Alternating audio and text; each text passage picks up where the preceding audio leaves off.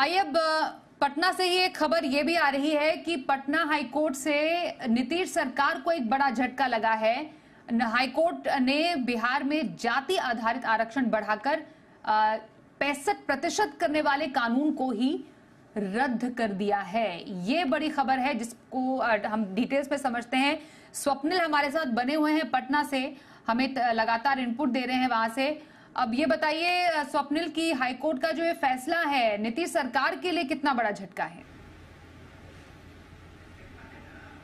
देखिए, नीतीश सरकार के लिए बहुत बड़ा झटका है। नीतीश कुमार ने बहुत तामझाम के साथ 50 परसेंट का जो कैप था उसको बढ़ा के 65 परसेंट पे वो लेके गए थे। बड़ा इसका प्रचार प्रसार किया गया था। लेकिन जब कोर्ट में इसको चुनौती दी गई तो कोर्ट ने इसको क्वैस किया।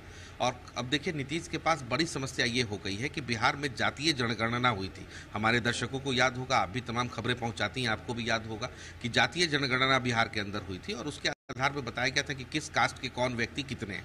तो नीतीश कुमार ने उसको आधार बनाते हुए नीतीश की कैबिनेट ने इसको पारित कर दिया था। अब जब ये कोर्ट में जाता है, कोर्ट से क्वेस्ट हो जाता है तो ऐसी स्थिति में राज्य सरकार के पास अब बहुत बड़ी चुनौती हो गई है कि राज्य सरकार आगे जवाब क्या देगी। अब लेकिन एक सोर्स के हवाले से खबर ये आ रही है कि राज्य सरकार आगे मूव करेगी फर्दर कोर्ट्स में, लेकिन अभी फ़िलहाल राज्य सरकार के पास पशुपेश की स्थिति बन गई है कि राज्य सरकार ने जो पूरे तामझाम के साथ अनाउंसमेंट करा था, उसमें बहुत बड़ा राज्य सरकार को सेटबैक लगा है। वहीं राज्य सरकार की तरफ़ से अब तमाम तरह की एक तरह से डैमेज कंट्रोल में तमाम यूनिट्स लग गई हैं।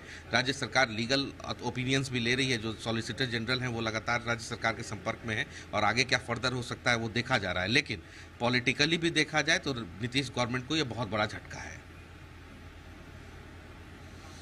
ओके तो एक बड़ा झटका है यहाँ पर नीतीश सरकार को, ये तो साफ़ है। धन्यवाद करेंगे स्वप्निल, पूरी खबर पर ज़्यादा अपडेट